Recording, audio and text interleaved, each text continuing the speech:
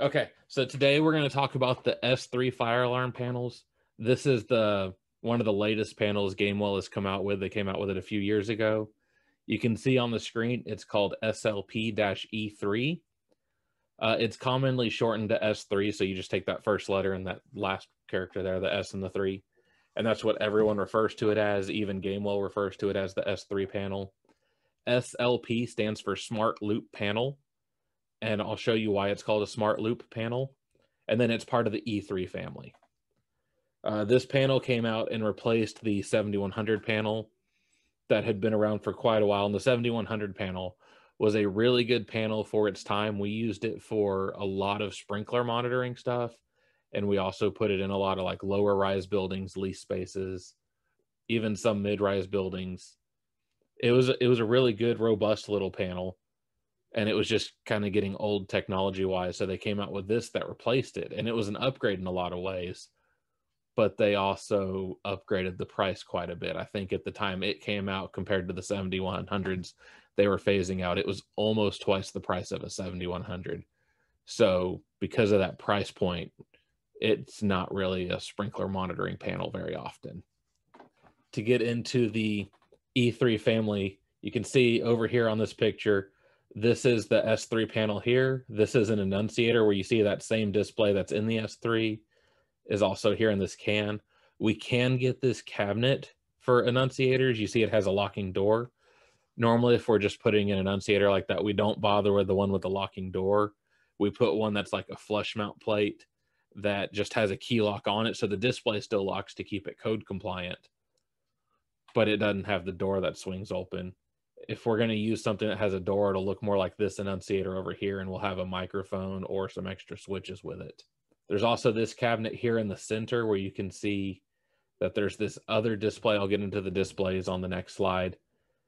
But there's this one, and then there's the buttons.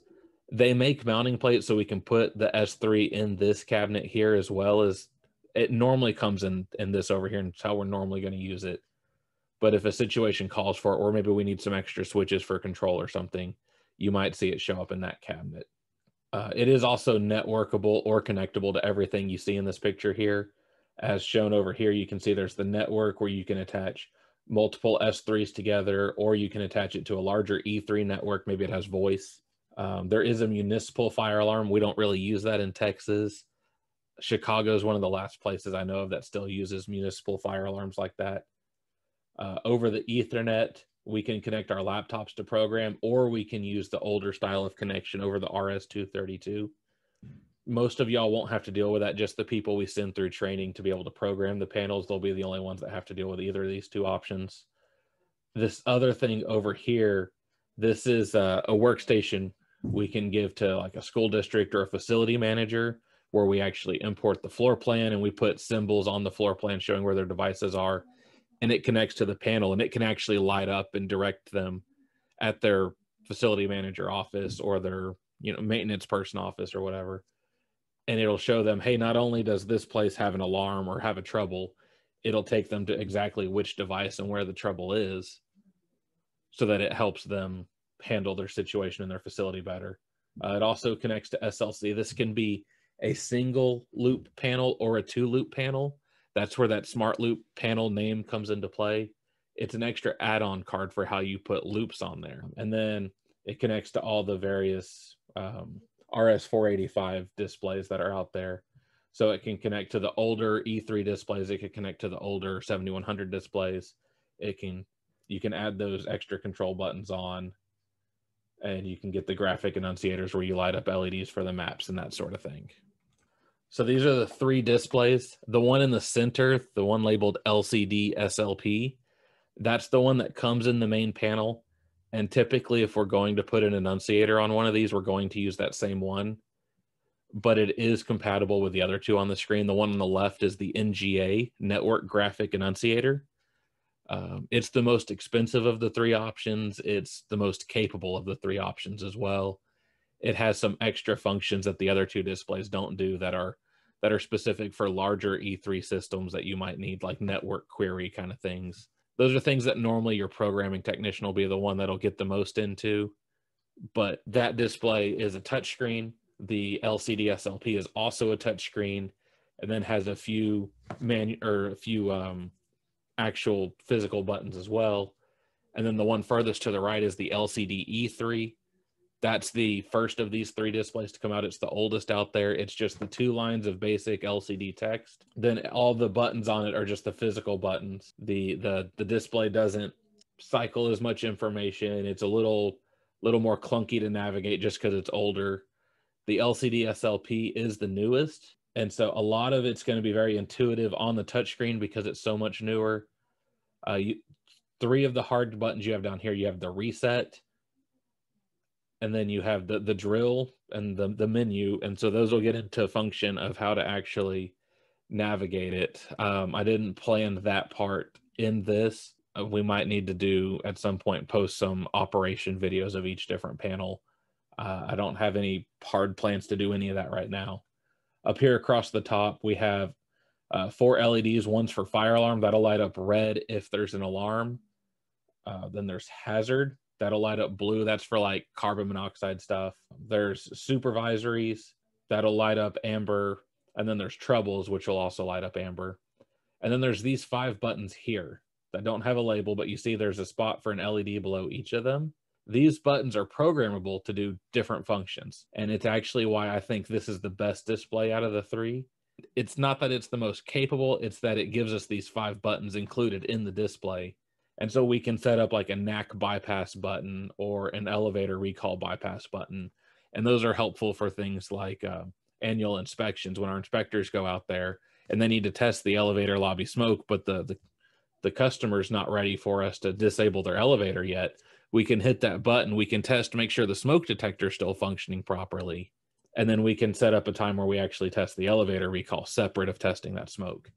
Uh, we can also set up bypasses for air handler unit shutdowns so that we can if we're in a facility that maybe they wanted the air handlers to shut down under general alarm we can do that. And as we go through the inspection we're not constantly turning the air conditioner off and back on and off and on. And that's that's really bad for their air conditioner as well as it makes the building uncomfortable to be in. So we can bypass that feature and then come back and test the air handler shutdown all at once and only do it the one time and not be as hard on their units but all three of these are compatible with the S3 panel. All three of these are also compatible with every other E3 product out there. So most E3 panels, we've actually started putting these LCD SLPs in there because they do work really well and they do give us those extra buttons that are just nice to use. So here's what the panel looks like when you open it up. Uh, this is how it opens brand new without any doing any work to it yet at all. You see here's where the display mounts. So it has this back plate here and then it's eight little hex nuts that just screw there. And then there's the key lock that has a wire that goes up and connects to the board. And so that key lock will, if it's locked, it won't let you push anything on the display at all. You have to put the key in and turn it. That way, people don't just walk up and start pushing buttons on a life safety system if they don't know what they're doing. And then over here is where everything else is. And this right here is just a little bit of an enlarged picture, even though it's kind of grainy and hard to make out really but there's two parts. You have down here, you have the the flip seven power supply. It's FLPS or whatever, but it's shorthand referred to as the flip seven. It's where your 120 volt lands right here under these terminals. And then there's this jumper cable that comes up here and goes to your motherboard. This whole part up here is your motherboard. Right here is your screw terminals for your battery. Uh, here's where your ribbon cable goes over to connect to your display. Over here's your ethernet port and then right here is a port for connecting the laptop for programming. Your NAC circuits will land up here, auxiliary power, and your uh, annunciator data comes from over here. Right here, you have trouble, alarm, and supervisory relays that you can connect to. On some of the other panels we've talked about, those relays have been programmable so you can customize them and use them for whatever you want. On this panel, they are not. The one for alarm is a general alarm relay. It's not changeable. Uh, the trouble relay is trouble only and supervisory only does supervisory. None of them change. They are they are only that and they are always that. Right above these relays, there's four buttons. Um, there's reset, trouble acknowledge, alarm acknowledge, and system silence. So if for any reason the display stops working, I've had times where there's been a bad DACT card or a a bad annunciator out in the field that screws up the the RS485 connection. And so the display that's here on the that connects through this ribbon cable mounted in this door won't actually respond right. These buttons give you an extra control inside there that's I've found useful a handful of times. And then right here, this row over here is uh, LEDs that give you your status. So it'll tell you, it tells you all four of your NAC circuits separately, as well as alarm, trouble, supervisory, power. This is where your four NAC circuits land up here at the top center. One thing that I think is the best feature of those four NAC circuits, they have an auto end of line detection. So they, uh, as long as all four of them have the same resistor on there, it'll clear. It makes it really nice for retrofit applications. So we're not going out and trying to find all the end of lines and have to put in, you know, a 47K or a 4.7K ohm resistor, whatever the panel would want. Instead, they're able to, uh, this panel is able to look out. And if, if the old panel that's being replaced used 15K ohm or 20K ohm or 2K ohm, it doesn't matter this panel is able to see that they're all the same and it uses each circuit individually to check to make sure all the circuits are fine. And then if you have blank circuits, you just have to find a resistor that matches what's out there in the field and that makes it uh makes it a little nicer for those retrofits. And then the last part is over here. There's these two rectangles that don't have a lot going on. You can probably see these black blocks here. Maybe you can see the screw terminals on this side. These are the cards that really make the smart loop panel part of it because these are where your loop cards go. They're little accessory add-on cards. And if you're only using a single loop panel, you just put one card right here. And if you're using two loops, then you put a second card here. You have to have at least one loop card on it for it to do anything, but you don't have to have that second loop if you don't want to. But you don't have to buy a whole separate motherboard just because you want a separate loop. That was one of the things with the 7100. You had to buy different panels if you wanted a second loop. And then also with the SLC loops on the 7100, it was clip mode only, which we haven't talked about clip mode in a little while. That's short for classic loop interface protocol. Basically, that just means the panel talks to one device at a time in the field. So it pulls smoke detector one, then two, then three, and so on. And communication with that on larger systems could get kind of slow. This panel is capable of clip loop. So if you have older devices out there, you can enable clip mode and it'll still talk to your older devices. But if if your devices aren't too old and they're new enough that they can talk on what Gamewell calls velocity mode, it can communicate faster at uh, 10 devices per time. So if you're if you're in an area that maybe you have elevator recall and you have your three or four modules there on the wall right in front of you and they're in the same bank of addresses sequentially with clip mode you would watch them pull in order. So, you know, if their address is one, two, three, four, you'd watch one, then two, then three, then four flash. With velocity mode, all four of those will flash at the same time. You know, unless you're over one of those address breaks where, say, you've got two in one section of addresses and two in the other, then you'll watch two flash at a time, then the other two. But you can actually see that velocity mode go that way. Um, another difference between velocity mode and clip mode with smoke detectors uh, they'll only pull red in clip mode. In velocity mode, if everything is free and clear and good, they'll pull green. If there's a problem with the address, they'll pull red. And then if they're an alarm, then they're solid red. Whereas with clip mode, they were either pulling red or solid red. You didn't have that extra green to verify that they were checking in good. So sometimes trying to find issues in the field, that pulling red can be nice. The 7100 wasn't capable of that. The S3 and the E3 series is. So I mentioned we have to have those SLC cards. The part number for them is SLC PM. There's a second card that it could be, which is SLC PM 95.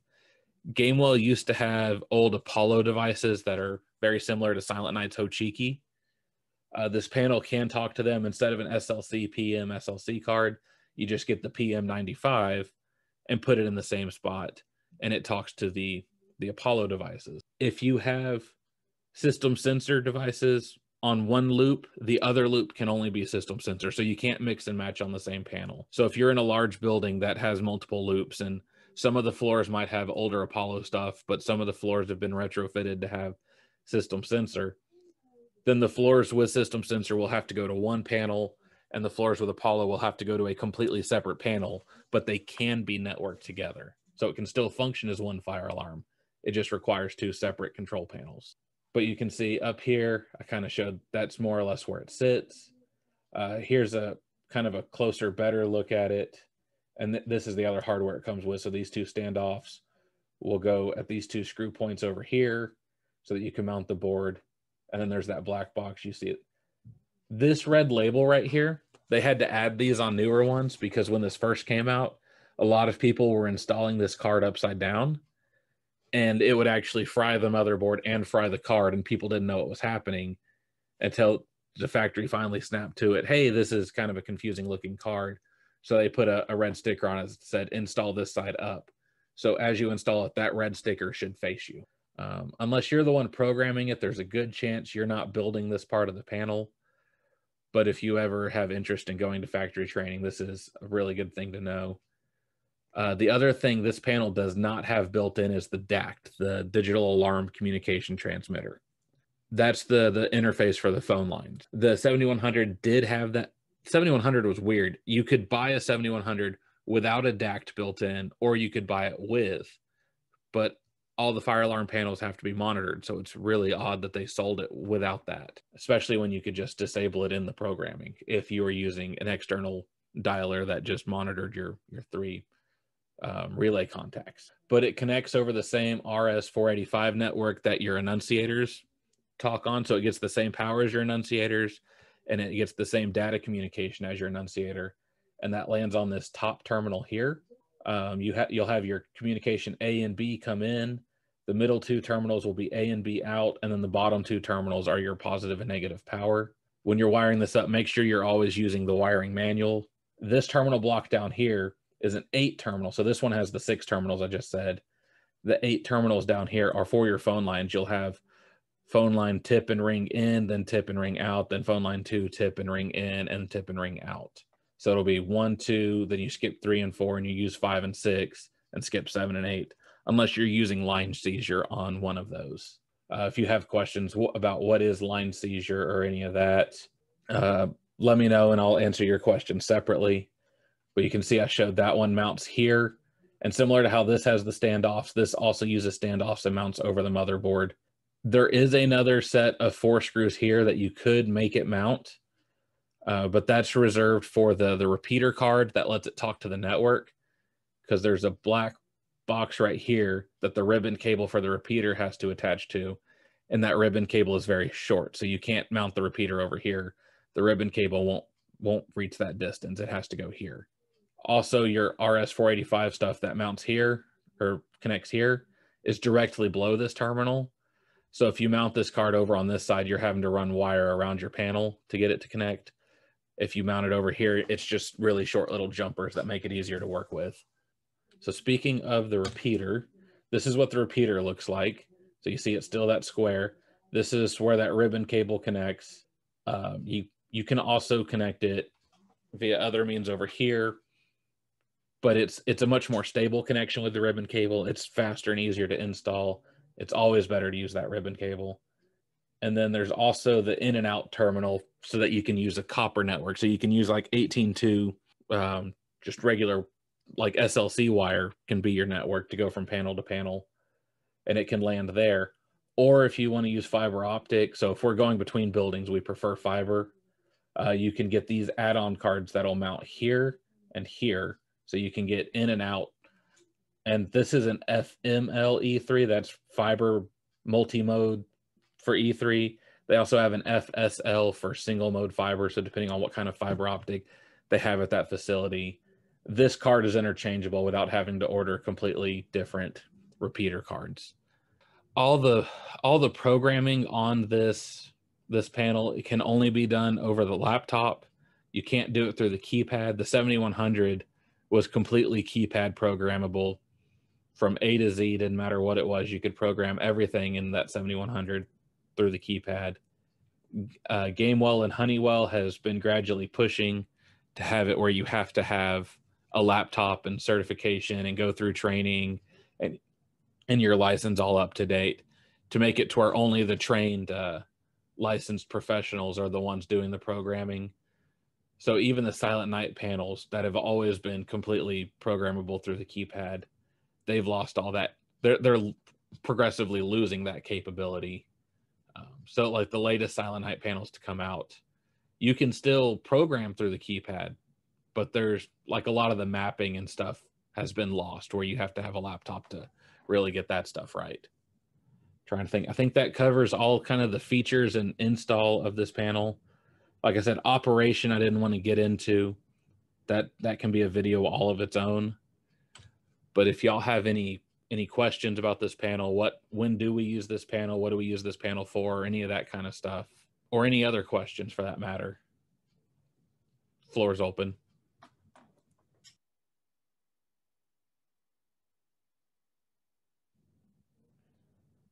All right. Well, if y'all don't have any questions, uh, thank you for being here. Y'all are free to go. Make sure you signed in in the chat if you haven't already. Looks like most people have. Um, y'all stay safe, and I'll see you next week.